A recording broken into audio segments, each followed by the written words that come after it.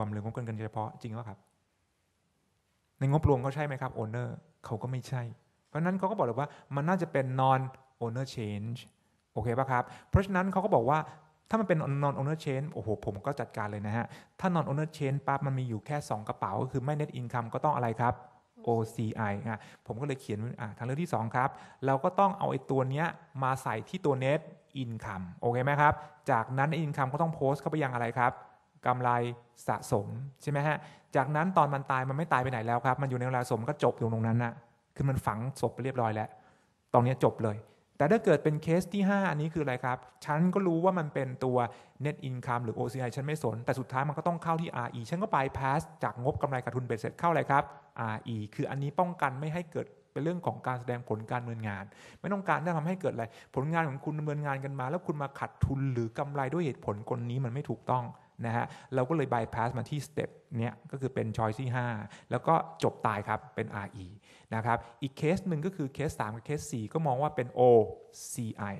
เพราะฉะนั้น OCI ก็ให้ไปโผล่หน้าเป็น performance แต่อยู่ข้างล่างนึกออกปะครับ เป็น OCI ข้างล่าง จากนั้น OCI ตัวนี้ก็ต้องโพสต์เข้ามาที่ OCI ในงบเอ่อในงบแสดงฐานะการเงินก็คือจะมาโพสต์เข้าตัว OCI ตัวนี้คืออยู่ใน equity เห็นไหมครับ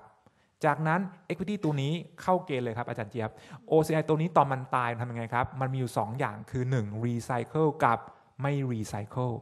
โอเคป่ะครับ เพราะนั้น OCI 3 จะมี 3.1 กับ 3.2 คือ OCI ที่ต้องมา recycle เข้าไปยังงบกำไรขาดทุน โอเคไหมครับ อันหนึงก็คือ จริง ๆ นะขณะนี้มี 3 ตัวที่อ่าต้องรีไซเคิลก็คือ recycle ได้ตัวใช่เอ่อกำไรขาดทุนที่เกิดขึ้นจาก ตัวเงินลงทุนในหลักทรัพย์เผื่อเผื่อขาขายยนะคะแล้วก็ตัวเอ่อกำไรขาดทุนที่เกิดขึ้นจากการแปลงค่างบการเงินอ่านะคะแล้วก็ตัว Cash flow กำไร hedge ขาดทุนใช่ที่เกิดขึ้นจากนะครับการประกันความนะเสี่ยงแต่แต่อันนี้เนี่ยเราก็บอกเลยเลยว่าจะเอายังไงระหว่าง OCI ถ้าคุณแตะ OCI ปั๊บเนี่ยคุณต้องเลือกเอาแหละว่าคุณจะ recycle หรือไม่ recycle คำว่า recycle คือคุณต้องล้าง OCI แล้วไปเข้าตัวอะไรครับเข้า net income แล้วก็โผล่มาที่ตัวอะไรครับกำไรสะสมอีกอะหรือถ้าเกิดคุณไม่ recycle คุณก็เอา OCI เข้า RE โดยตรง เพราะฉะนั้นสุดท้ายมันจบที่ไหนครับ RE ด้านนี้ทั้งด้านเนี่ยครับจบ RE หมดโอเคไหมครับ อันที่ 4 ก็เหมือนกันแหละ อันนี้ก็คือ 4 กับ 3 ต่างตรงที่ว่าไม่โผล่หน้าในงบกำไรขาดทุนเบ็ดเสร็จเท่านั้นเองสุดท้าย เพราะฉะนั้น 2 3 4 5 สุดท้ายอะครับไปจบที่ RE ในขณะที่ด้านนี้ทั้งหมดมันไม่ใช่โอเคไหมครับแล้วถ้าเกิดคิดให้ดีอะครับ อย่างกรณีเนี้ยไม่ว่าจะเป็นตัวไหนก็ตาม เกิดแก่เจ็บตายมันก็อยู่ในตัว equity ทั้งหมดแหละครับ มันก็เอากระเป๋าซ้ายมาใส่กระเป๋าขวาคำนวณ ROE ให้ตายยังไงนะฮะ ระวังสักนิดหนึ่ง ROE จะกระทบไหม ROE จะกระทบเฉพาะเวอร์ชันที่คุณไปแตะ net income หรือ recycle นะครับ แต่ตัว equity ข้างล่างอะครับ มันจะเท่าเดิมถูกป่ะครับ มันเอากระเป๋าซ้ายใส่กระเป๋าขวานะครับ เพราะฉะนั้นการตอบคำถาม Q1 กับ Q2 เนี่ย มันต้องตอบเป็น package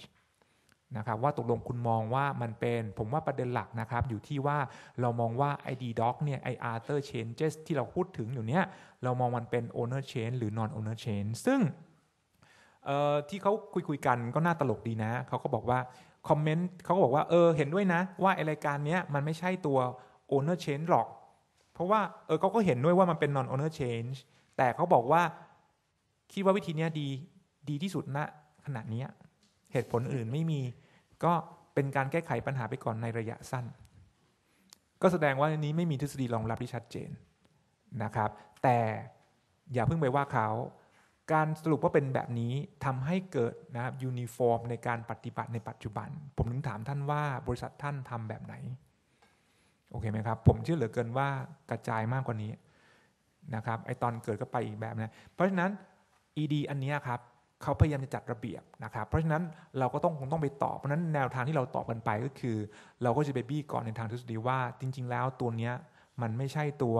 owner change มันเป็นตัว non owner change นะครับ แต่ในทางกรรมการก็เถียงกันเหมือนกันว่า สุดท้ายแล้วจะไปเข้าตัวอะไรนะ จริง ๆ ก็นั่งเถียงกันบางคนก็บอกว่า ถ้ามันเป็น non owner change เนี่ย มันก็ไม่น่าจะไปโผล่ที่ตัวอะไรครับ ไปโผล่ที่ตัว performance แล้วอะที่เหลือก็น่าจะเข้า RE ไปเลยให้มันสิ้นแบบจบๆไปเลย นะครับอย่ามาโผล่อะไรให้งง แต่เชื่อไหมครับว่าถ้าเป็นสไตล์ญี่ปุ่นเนี่ยญี่ปุ่นจะชอบ clean surplus clean surplus แปลว่าทุกอย่างต้องไปจบที่ net income ทุกอย่างต้องไปเริ่มต้นที่ net income นึกออกไหมเหมือนกับจะต้องเดินย้อนไปที่ net income แล้วค่อยกลับมา RE อย่างเงี้ยนะมันนั้นก็มีประเด็นเรื่องราวค่อนข้างเยอะเหมือนกันครับอาจารย์ครับนะฮะอันนี้ก็จะเป็นไฮไลท์นะครับอะมี other comment ไหมตอบว่าไม่มีแค่มีอย่างนี้ก็ปวดหัวแล้วนะฮะอันนี้ก็มีแค่เนี้ยนะครับเรื่องนี้ก็จะเป็นเรื่องราวของตัว นะครับเบอร์ 28 นะครับ เอาละเรื่องสุดท้ายแล้วนะครับ ก็จะเป็นเรื่องของ depreciation อันนี้ชิวๆนะฮะ อันนี้ depreciation นะครับ ก็นะครับ ED ฉบับนี้จะพูดถึงนะครับการแก้ไขวิธีการคำนวณค่าเสื่อมราคาและค่าตัดจำหน่าย เพราะฉะนั้น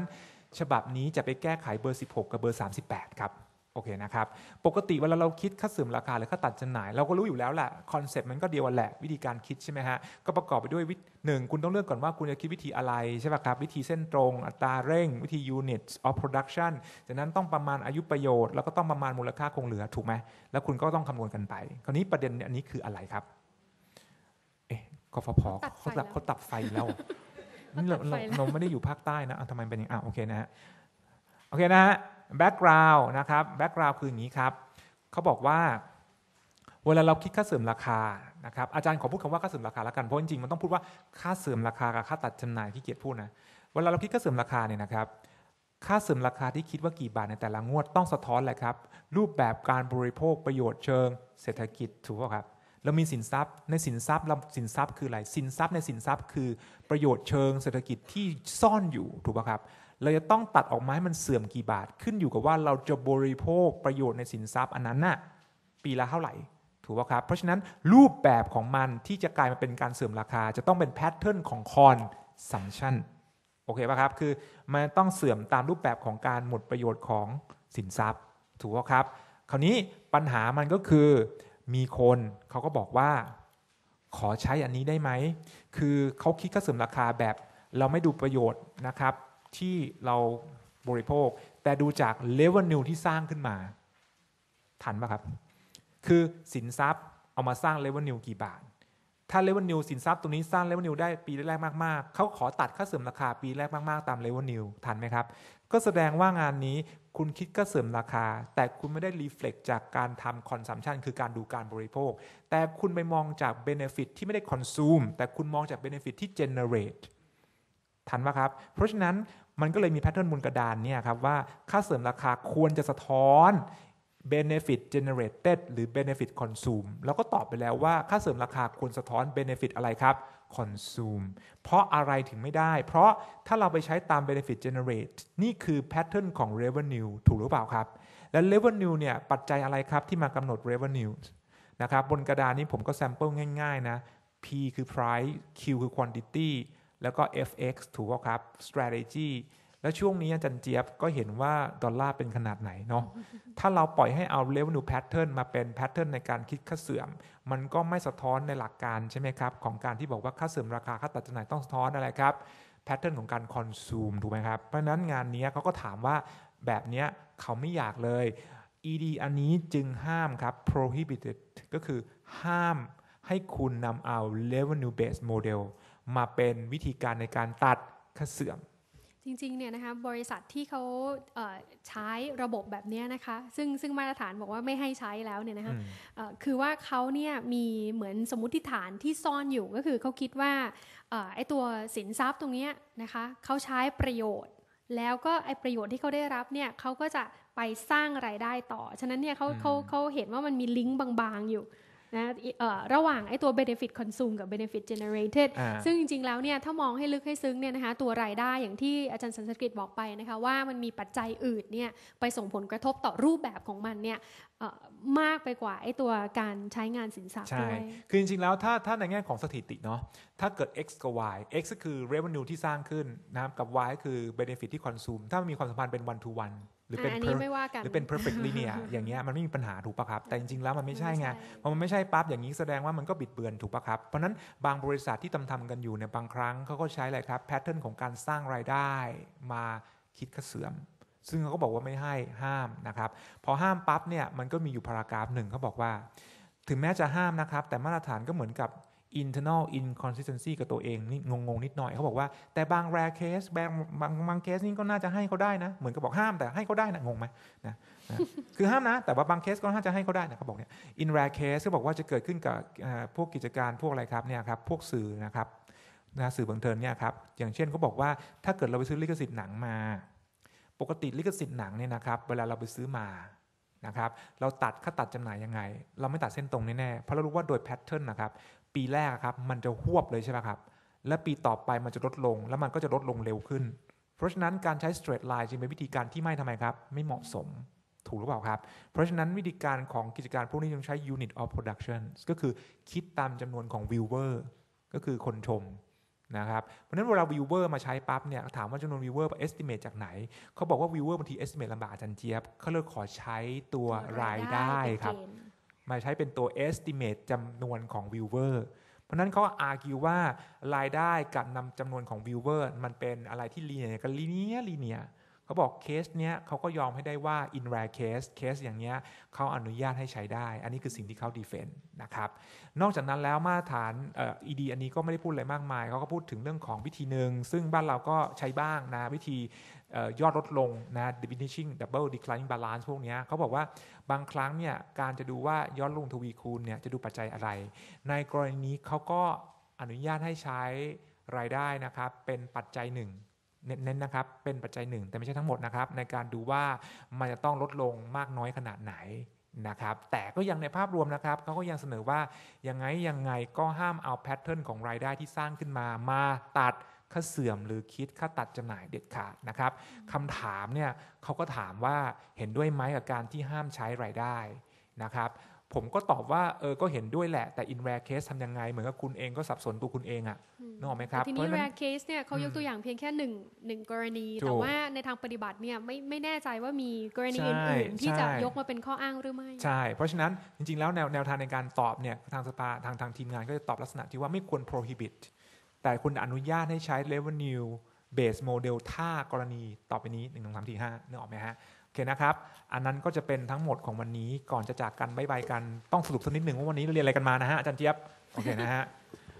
คำคำคำสรุปก็เยอะใช่ไหมฮะอะนะฮะเมื่อเช้านะครับท่านอาจารย์อุณากรก็มาพูดถึงนะครับว่าจริงๆแล้วหน้าที่ของคณะอนุกรรมการชุดนี้ เป็นอนุที่ติดตามมาตรฐานแรงงานทางการเงิน เป็นชุดล่วงหน้าคืออนาคตของอนาคตนะครับ ซึ่งกว่าจะมาถึงบ้านเราก็คงอีกนาน 3-4 ปี แต่ว่าสุดท้ายแล้วทุกท่านที่อยู่มาอยู่ในที่นี้เราก็ต้องเตรียมความพร้อมนะครับ เพราะส่วนใหญ่แล้วมาตรฐานที่จะเปลี่ยนในอนาคตเขาดันใช้วิธีปรับย้อนหลังครับ เพราะนั้นเราก็ต้องเตรียมตัวไว้ก่อน อะไรที่เราเห็นเราอยู่แล้วว่าเทรนในอนาคตจะเหลือวิธีนี้ ก็อย่าใช้วิธีนี้ก็คืออย่าใช้วิธีอื่นนะก็ไปเห็นอยู่แล้วว่ามันจะเป็นอย่างเนี้ยเราก็ต้องเตรียมพร้อม เปิดฉากด้วยการอธิบายนะครับบทบาทของรถแมพของสภาวิชาชีพบัญชีว่า ในปีนี้เราใช้มาตรฐานใหม่อยู่ 4 ฉบับจำได้ป่ะครับ ใช้ไปแล้วด้วยใช่ไหม12 deferred tax ใช่ไหมครับเบอร์ 8 operating segment 20 government grant 21 เรื่องของ FX นะครับจากนั้นก็จะเห็นว่าปีหน้าก็จะมีมาตรฐานทั้งหมด รวมถึงตัวตีความมาตรฐานทั้งหมดมาในปี 57 จะเป็นเวอร์ชัน b a v o l u m 2012 ต่อที่ปี 58 Pack 5 ก็จะตามมารวมถึงตัว Fair Value Measurement นะครับ ที่อาจารย์เจียบอธิบายไป พวกเบอร์ 10 เบอร์ 11 27 28 13 12 พวกนี้ แล้วก็รอจนวันทั้งถึงวันที่เราก็รอกันมาก็คือวันวันที่ 1 มกราคม 2559 นั่นคือปี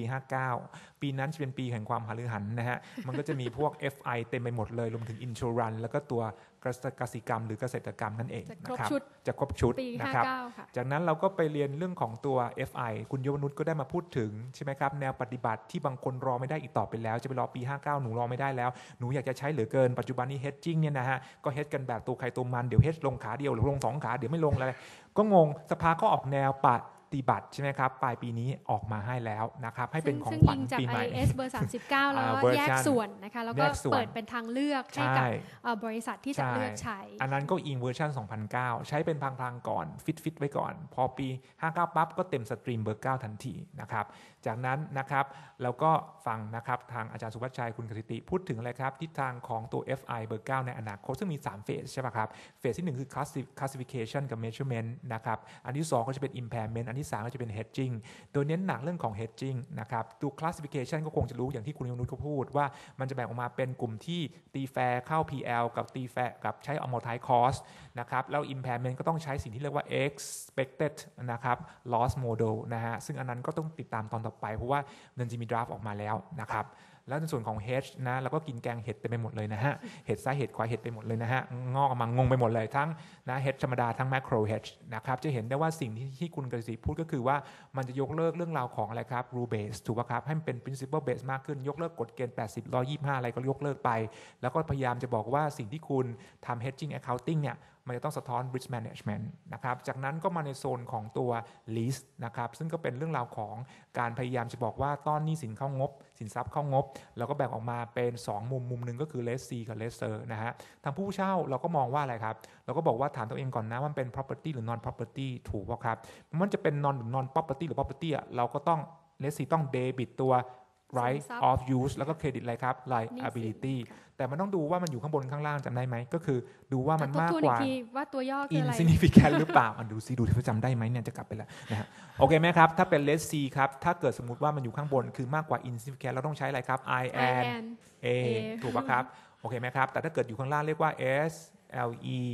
I and A ก็คือ F L เดิม ถ้า I and A ก็เอ้ยโทษ I and A คือ S L F L เดิม แต่ถ้าเกิด S L E ก็คือ O L ปัจจุบันใช่ไหมในฝั่งของผู้ให้เช่าเราก็ต้องมี 2 วิธีเหมือนกันใช่ไหมครับ ข้างบนเราก็เรียกว่าอะไรครับ R and R ก็คือ F L เดิม ข้างล่างก็คือ O L ใช่ไหม R and R ก็จะเป็นไฮไลท์นิดนึงก็คือจะต้องปลดระวางสินทรัพย์ออกแล้วก็บันทึกสินทรัพย์เป็น 2 ก้อน ก้อนหนึงก็คือ receivable อีกอันหนึงก็จะเป็นตัวตัว residual นะครับแล้วก็นะครับบันทึกกำไรแล้วก็บันทึกกำไรบางมันส่นั้นวนกำไรบางส่วนใช่ครับก็จะมีกำกำไรได้อยู่ 3 ก้อนก้อนหนึ่งคือกำไรบางส่วน 2 ก็คือดอกเบี้ยรับที่เกิดขึ้นจาก receivable ที่ 3 คือดอกเบี้ยที่เกิดขึ้นจากตัว residual นะครับอันนั้นก็เป็นไฮไลท์แล้วก็ตบท้ายด้วยตัว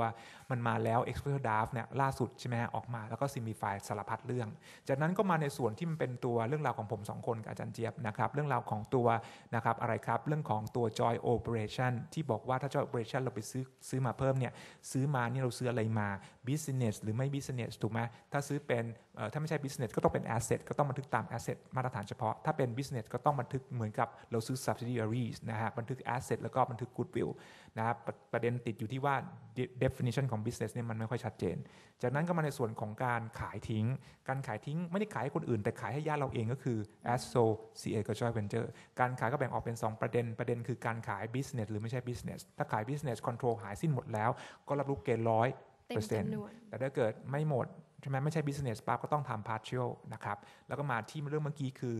investment in associate กับ joint venture ซึ่งต้องใช้วิธีอะไรครับ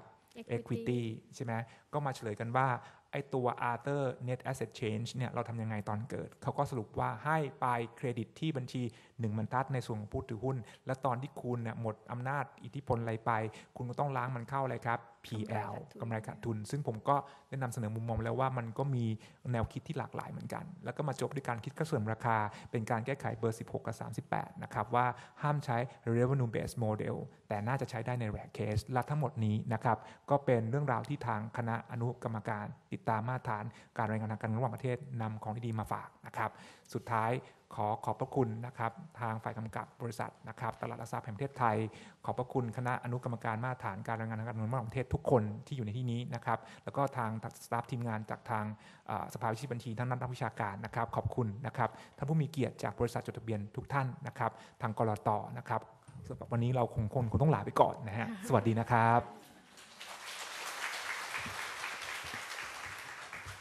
ค่ะ ขอขอบคุณคุณอุณากรพุทธิธาดา คุณยุวนุชเทพทรงวัด ดรสุวัชชัย เมฆาอำนวยชัย คุณกสิติ เกตสุริยง ดรสันสกิจวิจิตรเลขาการ ดรสมศักดิ์ปฐมศรีเมฆ และผู้ช่วยศาสตราจารย์ ดรอรพันธ์ยนบินค่ะ ที่ได้มาให้ความรู้ในวันนี้นะคะ ซึ่งเชื่อว่าจะเป็นประโยชน์แก่บริษัทจดทะเบียน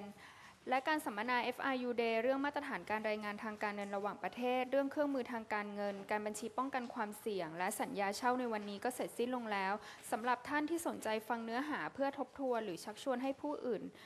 ที่สนใจมาฟังนะคะ เราได้บันทึกเทปการสัมมนาในวันนี้นะคะ โปรดติดตามได้ในเว็บไซต์ของตลาดหลักทรัพย์ค่ะ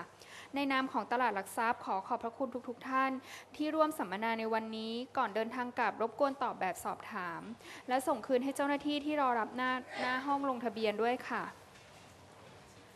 สแตมป์บัตรจอดรถที่หน้าห้องนะคะ ขอบคุณค่ะ